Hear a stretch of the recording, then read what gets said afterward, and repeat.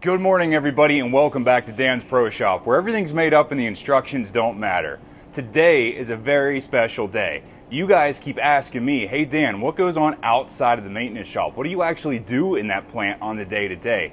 Well, me and my partner in crime hooked up a new job in a machine just this morning, and I had the chance to take a video of what's going on so you guys can actually see what goes on in the plant and how some of these things are made.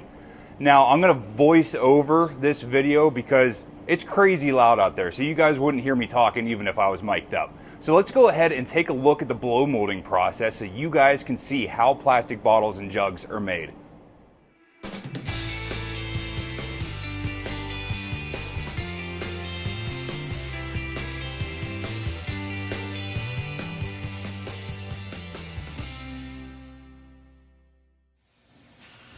So what we're looking at here is a material blender for this machine. It'll come out of that blender, go up through all these vacuum pipes and find its way into this hopper on top of the extruder. That shroud covers all the belts for the gearbox that runs everything.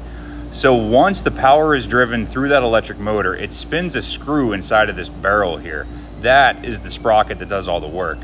Once the plastic goes through that screw and gets plasticized, it comes through the head here and comes out in the form of a parison that then we turn into a bottle.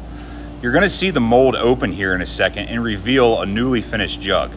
So that's the way this process works. See the mold close around another piece of parison, it gets cut and goes back down into the station to make more. Let's move around the front here so you can see head on how this works. So the head right there in the center of your screen with the plastic coming out of it that's what we call the parison. It's a hollow tube that we then fill with air to make the jug. So there is a container being made inside of that mold right now. You'll see the mold open and then lift the part up just a little bit to release it and it gets caught by those arms on the side that take it out of the way and then the next time the mold opens it'll get dropped onto the conveyor belt so it can get sent out of the machine and checked for quality. This is just a little bit of an aerial view so you guys can see the head of the machine, the mixer, the extruder, everything that goes on on top. So whenever that blow mold comes down into the top of the mold, that blow pin, I'm sorry, that's what fills the jug with air and creates the neck, you know, like the part that the cap gets screwed onto. So the threads and everything is formed right inside of the mold. There is no post-processing required for this.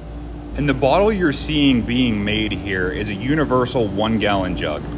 So coming back down the front of the machine here, this is the controller that runs the entire machine. It's all touch screen. This is a more up-to-date control that we retrofitted several years ago. These are all the timers and everything that control the relays and solenoids inside the machine. And these are the heats for the barrel so you can control how much the plastic gets melted when and where it happens. And one last little look inside the machine to see what's going on. All right, guys, so we're back in the shop so I can explain to you a little bit better what you just saw. That machine is a continuous extrusion blow molding machine.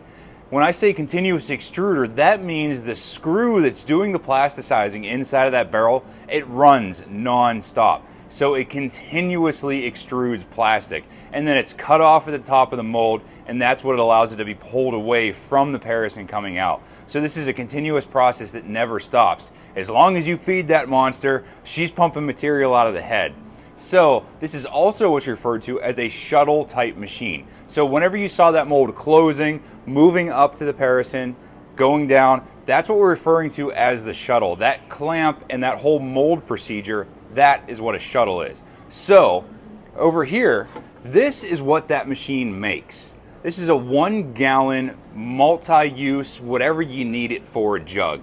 So customers call, order this, they put whatever they want into it. And I was talking earlier about how they make the, how we make the threads inside of the mold and the blow pin that comes down and seals the top of this. Well, if you look here, those threads and everything on the top of this bottle are made inside of that mold. So this isn't something that gets done afterward. Whenever it comes out of the mold, all we do is rip off the chunk of what we call flash sitting on top, punch out this handle hole, and it's ready to go. This gets tested to make sure that it doesn't leak, goes through quality, when everybody's happy, goes in a box into a truck. So hopefully you guys can understand a little bit better what's going on outside of the maintenance shop. And this gives you a little bit of peek into what goes on on my day to day. So if you guys are interested in stuff like this, hey, I think it's awesome. Before I started here, I didn't know much about plastic injection or blow molding for that fact. I just know about machines and I know how to fix them. And whenever you have that basic understanding of electrical, hydraulic, mechanical, whatever, you can pretty well fix anything. And these machines are no different than anything else you would run into. So if you guys are interested in this kind of stuff, leave a comment, let me know. Until next time.